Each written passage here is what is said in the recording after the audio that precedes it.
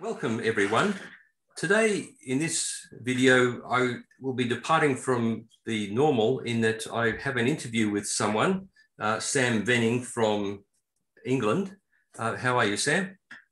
I'm very well. How are you doing? I'm very well.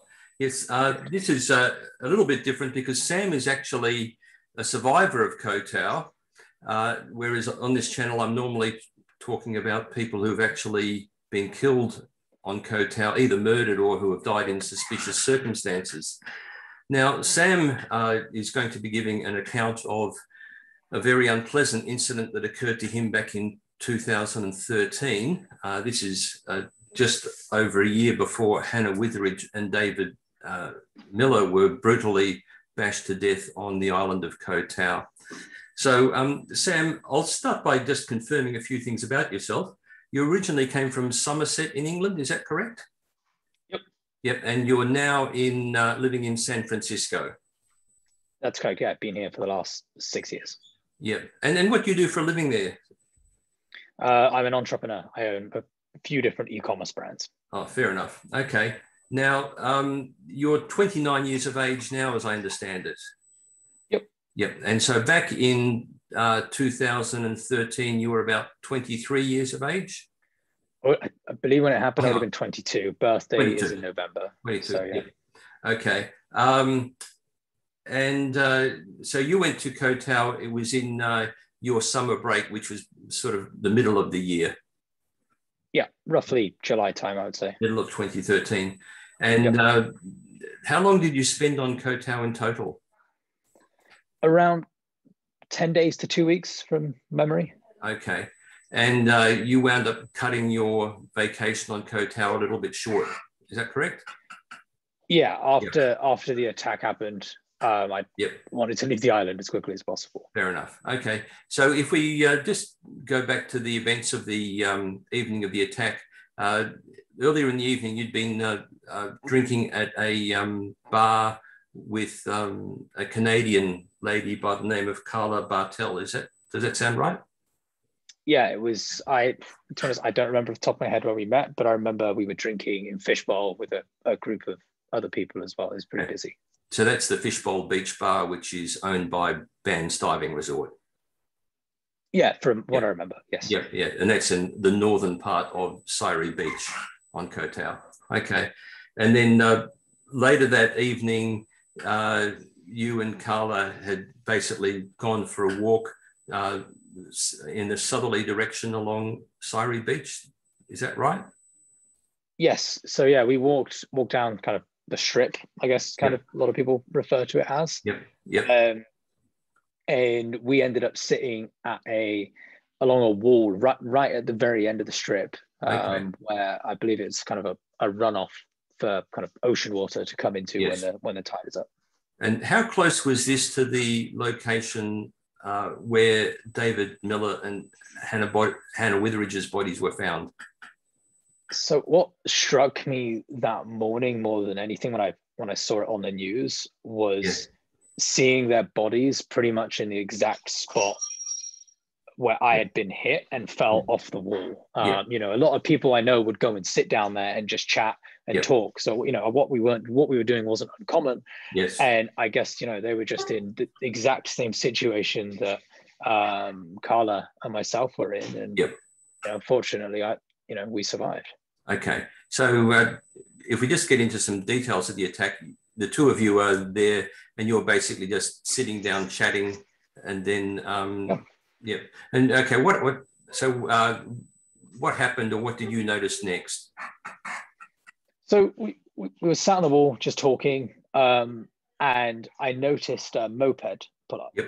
And yep. so there, and again, my me- memory is a touch spotty. So yes, from yes. what I remember, is the the water runs off. Yes. And then there's a small bridge, yes. maybe a meter to two meters wide. Yes. Um, and I just remember someone walking over that. They, you know, they they weren't small um, by yep. any means. You know, just a, I'd say a fairly normal build. Yes. Um, and I only reason why I cocked my head at all is just because the light came in, um, and I obviously heard the noise of a moped. Yes. Um, and I just saw yes. someone get off their bike and start to walk over. Yes. Um, the bridge, and you know, didn't take really any notice of it. Maybe I was looking for you know half a second to a second, yes. maybe yes. two seconds. Yep. Um, continued chatting to Carla, um, and then all of a sudden I hear the scuffle of flip flops. Yes. Um, and I just turn around to see what's going on. And as yes. I turn around, I get hit. I'm kind of in here around kind yep. of the forehead where they were Yep. trying to go for my temple, but they hit Yep. me square in the face with a rock. yes. Fortunately, the rock smashed. Um, Yep. and I I fell off the wall. Yes. I believe the wall between five and six feet high, Yes. tall enough that I can. We dangled our feet off, and it was a decent jump off the wall. Uh huh. Um, I fell off, pretty much hit the deck. Uh, Yes. Luckily, it's sand, so you know no real injuries there. Um, and then all I remember is waking up, seeing. You know, I don't remember someone running off because by by the time I, I just woke up and I hear Carla screaming, just Yeah. You know, Yeah. a noise that will kind of live with me for a long time. Yes. Yeah. Um, yeah, hearing her screaming and um, you know, me just you know, being like, "You're all right? Are you okay?" Yeah. Um, you know, and then you know, obviously adrenaline kind of kicks in.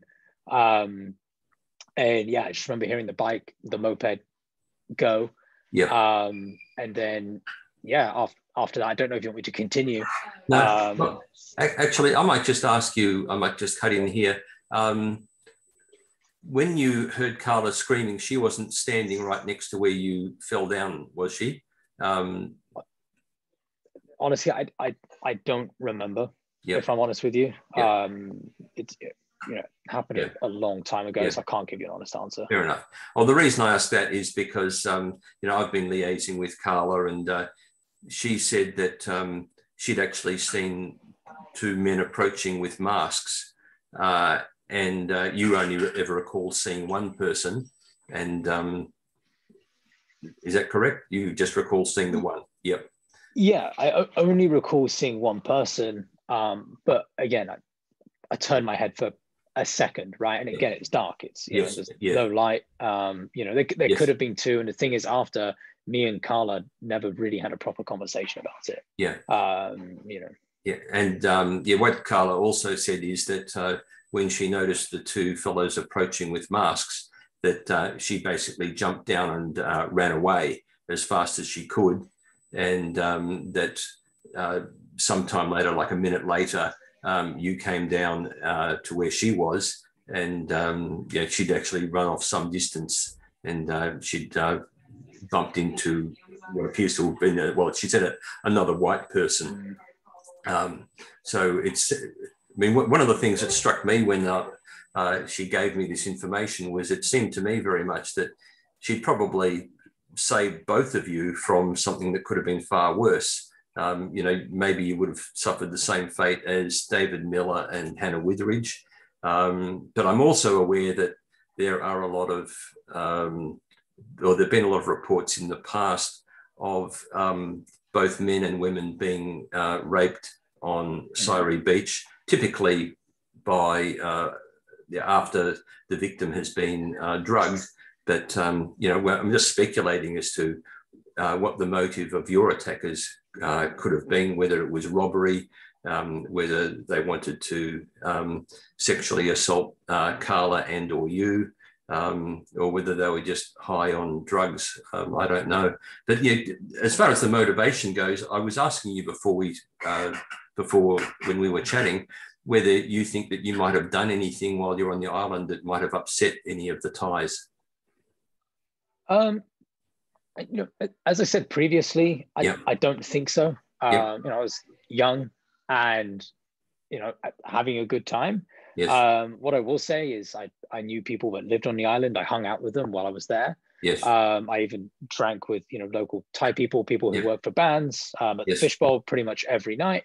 yes. Um, I did a, a lot of diving, and the other thing I did as well is I bought a bunch of burgers from the mainland because Yep. one thing Yep. everyone asked for is they don't have McDonald's there. Can we bring McDonald's? yes. So I bought, uh, you know, Yeah. I think like 30 or 40 burgers. Yeah. Felt ridiculous going from Bangkok yes. with burgers, but about 40 burgers and, Yes. Yes. you know, made, made like 15 friends immediately because everyone wanted a burger. Yes. Um, so, you know, off the top of my head, no. But again, I appreciate, you know, you can kind of be ignorant to certain things. Uh, but one thing my friends did say before I came out, be very respectful of Thai people and, you know, their cultures and their norms because um, you don't want to get into any trouble. So I was, I always tried to be cautious of that. Yes. Um, but yeah, from, from what I know, no, I, I, I don't believe I did anything wrong. Okay. I mentioned to you before that there is a small army of trolls who actually watch this channel and they also follow mm-hmm. my um, Facebook page, which is Koh Tao uh, Death Island, and they follow my uh, Twitter account, which is just uh, Ian Yarwood underscore law. Um, but um, many of those trolls will make comments to the effect that so long as you uh, respect Thai culture, you won't get into any trouble. And if you get into any trouble, you've brought it upon yourself. Uh, what do you have to say to people who make those sorts of comments? Uh, it's it's not true. You could apply that logic to absolutely anywhere, right? Yeah. Stop, uh, you know, a psychopath yeah. attacking you. Mm. Um, the other thing I, I I've known about the island for a long time, and even was spoke about with my friends who lived there at the time um, was about the level of corruption on the yep. island and what to do if you get in trouble and what to do with the yes. police and yep. everything else. So it's it's not like a normal place. Yeah, that logic yes. may apply for most of Thailand. Yes. But I feel that you know there's a, a great deal of corruption in Koh Tao. I've also heard yes. about you know stories about the mafia and everything. Again, I, I'm not privy to it. I don't know what's true and what's yep. not. Yeah. Um, but what I do know is that it's not the same in Western civilization. If you get arrested, and what to do with the police. Yes. Um, so you, you know, no, I would call that a crock of shit. To be completely yeah. honest with you, yeah, um, yeah. yeah. You know, it's it's it's obviously not a safe place, and I'm sure if you if you could find real statistics of what happens per capita, mm. then it's going to be way higher than you know your average town, city, or anywhere else in the world. So no, it's mm. you know, yeah, you know, it may go some way towards getting you in trouble, but you look at the massive rate as to what's happened there. Mm. All of those people, a, no one deserves mm. to, um, you know, to get raped or killed because mm. they did something that a Thai person disagrees with. Right? Mm. It's okay to have cultural disagreements, but it's never yeah. okay to go to the extent of killing someone or mm. assaulting. Yeah. So no, it's, it's okay. Well, thanks, Sam. Well, before I actually move on to what happened um, after the attack, just going back to the um, uh, the fellow that you saw, you said he was like a normal height, normal build. So mm-hmm. you uh, your opinion was that he was far larger than uh, people like Wai Phyo and Zaw Lin, who were the two Burmese guys who were scapegoated for killing Hannah Witheridge and David Miller, because one of them was only about five feet tall and the other one was mm-hmm. just under five feet tall. So they were absolutely tiny. So you'd think that they the fellow that you or the figure that you saw was considerably larger than that. One hundred percent. Yeah, okay, I. Thanks. What the reason being that morning when I saw um, Hannah and David's death on yep. the news, yeah, I I immediately said it, it, it's not them because it's it's too much of a coincidence that it happened in the exact same spot. The only difference is I believe theirs was with a garden hoe and I was hit with a rock. It was all, almost as if they tested something on us. It mm-hmm. didn't work. Now we need to be more brutal in order to make sure that we can. Right. You know, okay. Something to happen. Okay. So um, anyhow, after you, after you've you've been hit uh, uh, in the face by the rock or in the head by a rock, um, and Carla said that you had, or she reported to me that you had um, blood streaming down your face. Mm-hmm. Um, so you managed to meet up with her uh, after the attack, and you're feeling fairly groggy at this stage, I understand. Right. And um, then later that night, uh, you had to stay with a friend of a friend and sleep on their sofa. Was that right? Correct. Yeah. yeah. So um, I that evening, um, I went back. I was actually staying in a friend's place that they weren't living in at the time, in a in a in a hut, kind of almost yeah. like in the middle of the jungle.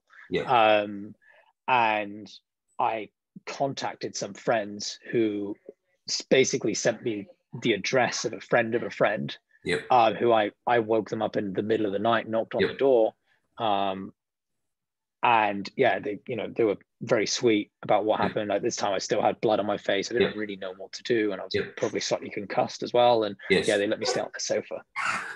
Okay, so um, you, said that you woke them up in the middle of the night. Approximately what time would the attack have occurred? Was it sort of midnight or one in the morning, or just roughly? R- sure. Roughly at, at, the at the end of the night. Right. So, you know, when, when things started to die down, we'd, we'd walk down to the end of the beach, uh, okay. you know, chatted because it's a little bit quieter. Yeah. Okay. It wasn't, when we were walking back, it wasn't full of tourists whatsoever. So no. I couldn't, I couldn't give you a, a, time, but, you know, so whenever things start to close down, that's when. okay. All right. Fair enough. Now, we don't have to be precise. It just gives people a bit of an idea mm-hmm. as to what transpired. And then um, uh, the next morning, uh, did you wind up reporting the attack to the local police? No, it, everyone that I know there, when I spoke to there, was basically like, "Don't bother. It's too, right. you know, there's too too high a level of corruption, and yes. either way, nothing will happen anyway." Yep. Okay. Okay. So, uh, and did you seek any medical treatment uh, after you'd been hit in the head? No. So that that night, um, it was pretty bad. My when I was I kind of cleaned myself up yep. um, at, at the other person's house. Yes. Um, and you know, it was it wasn't from what I remember, wasn't severe enough that it needed stitches. Yep. Um, and again, I'm young, stupid. In hindsight, probably should have gone to a doctor to get you know either a scan or something, or just to make sure I wasn't concussed. But no, I I, I didn't seek any medical medical treatment. Okay. And uh, so, how much longer did you stay on the island after uh, the attack? Two to three nights. I, could, I, I was struggling to get off the island. Yes. Um, because I couldn't afford to pay for the ex- more expensive ferry. Yeah. Um, so I was there, you know, for a couple of nights, and yeah. it wasn't wasn't enjoyable. The people that were there were, you know, obviously were kind to me and trying to help me, but you know, when something like that happens, it really knocked me to six. You just want to leave. I just didn't feel comfortable. Yeah, I just wanted to leave. Correct. And you did, but you had been planning to stay there uh, for a longer period of time. Yeah, I was. I was by myself, so I I didn't have to you know go anywhere or leave. You know, I was just staying. I really I was really enjoying the island. I was also really mm. enjoying. It was the first time I had scuba dived, so I was yeah. loving scuba diving. And yeah. yeah, you know, I I was in no rush to leave. And actually, one thing that you were telling me before is that one of the instructors um, who was teaching you at uh, Ban's Diving Resort was actually the um, now infamous Santi Khokpool. Um, was that right? Yeah. Yeah, yeah, yeah. He took me on one of my um, advanced scuba dives, or maybe even a couple. Correct. Yeah. Yeah, uh, for those viewers who haven't seen one of my earlier or some of my earlier videos, um, I've made some videos about Santi Khokpool, who had um, sliced open the uh, the left side of the neck of a Scottish tourist uh, in the Fishbowl Beach Bar back on the 15th of August um, 2020. So that uh, is something which is fairly recent. So that's something for you to look at, on my channel. But um, Santi uh, has got a reputation with people who first meet him uh, of being extremely charming and friendly and so forth. But he's got a very dark side as well. And uh, Sam was telling me before that you found um, Santi to be very charming and friendly when you met him. Yeah, I, you know, I, we, we had drinks together and yep. he was lovely to me, but also I knew people that lived on the island. Mm, yep. Okay. All right. And um, so uh, everything sort of uh, went its own way. I understand that Carla, well, Carla told me that um, she left um, Koh Tao the next day, or it might have been the same. If it if the attack happened on that morning, she may have left the the same day. But within 24 hours, she'd left the island. Mm-hmm. Um, and uh, I think you were saying that you hadn't, you didn't see her again after you got hit, after you were hit on the head. Correct. I yeah. didn't see her again. Yeah, yeah. Once you uh, departed that night or that morning, you didn't see her again. Yeah. Okay. And then, um, of course, if we move uh, way forward to the um, 15th of September uh, 2014, which was the day that Hannah Witheridge and David Miller were found murdered on Sairee mm-hmm. Beach. Um, it seemed that um, Carla contacted you at that time.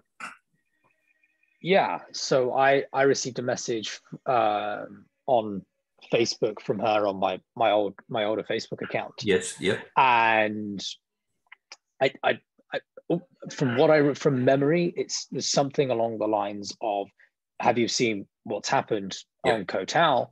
And you know, turn the television on, look on BBC, and there's reports about Hannah and David, and o- only then had it.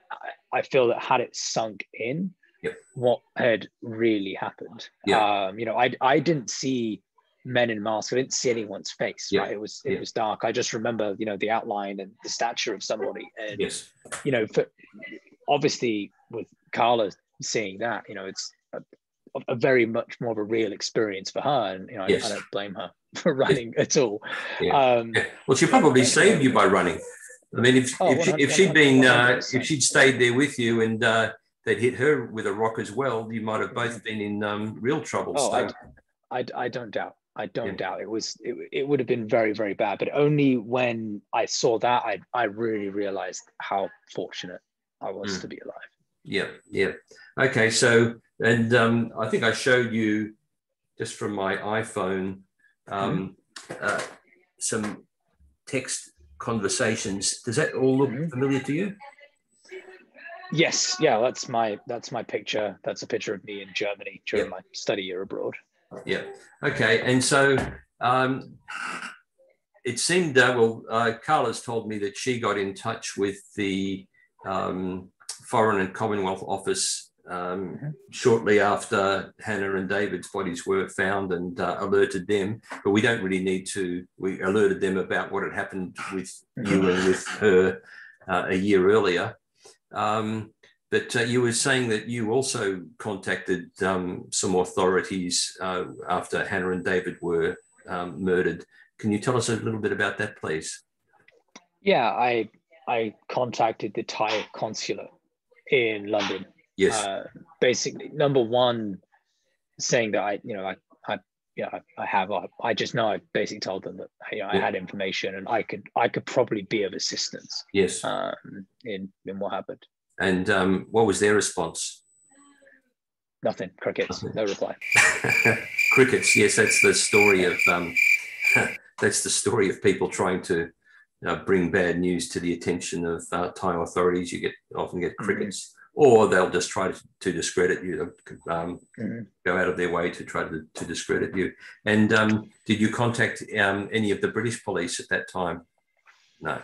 No, no, I, I, I, I didn't. To be honest, I, I didn't think about you know the the Met or anyone else would be involved. If I'm Yeah. honest with you, um, you know, I thought that those would be the best people to contact, and Yeah. yeah, sadly they never replied. I did, I did think about reaching out to Hannah and David, um, Hannah or David's family, but it didn't feel appropriate, you know, Right. at all. It felt Okay. felt wrong to Yeah. do that. Okay. And you didn't contact any media in Britain at the time? No, again, just just just didn't think about it really. You know, didn't didn't feel like it was right. Tried to go through the what I felt at the time was the appropriate channels. Yeah. Well, um, look, I, well, I think that uh, we've covered uh, a great deal in our chat today. It's uh, it's morning where I am, of course, and it's uh, Mhm. early evening where you are there in San Francisco. So, thank you very much for your time, Sam. Um, perhaps we might chat again in the future if there's something that I think of or there's something that you think of. But sure. I think that um, you've uh, done a great service to a lot of people by uh, shining some light on a very um, ugly incident and um, you know, and some of the corruption and crime there on Koh Tao. So um, I think that people will owe, uh, do owe you a, a debt of gratitude.